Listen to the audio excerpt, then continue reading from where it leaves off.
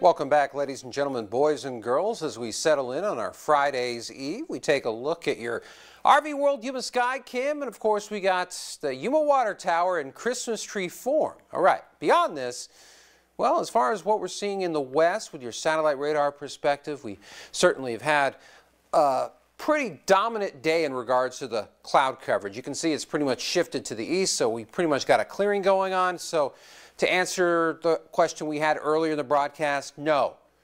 No rain, at least not anytime soon.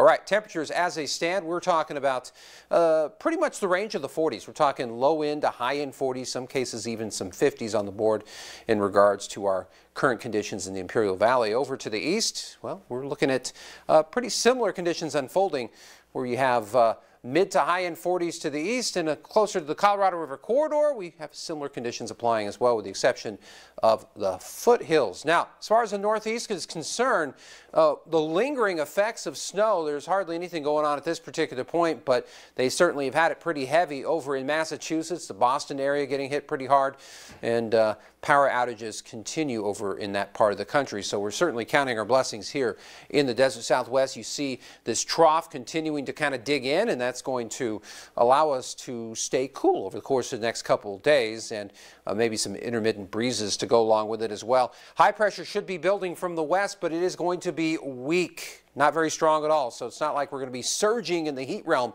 anytime soon. Your Metrocast, 53 degrees by 8 a.m. We should check in in and around the 69 degree mark as we get on into the mid-afternoon. Of course, we'll settle those temperatures back down as we get on into the evening time as well. Now, as far as tonight's merry and bright picture, we got the Palanas family representing in the foothills, and boy, are they representing well. You got a pair of Christmas trees there. You got the house all decked out, so thank you very much for sending that our way. And if you'd like to send yours, just go to our website and we'll get it on there as soon as possible. Now, as far as what we're looking at with your Yuma International Airport extended forecast, we got a couple of high-end 60 days coming our way, and then we really start to raise the temperature bar at least to some degree. We're talking up to the mid-70s. That's as high as we're going.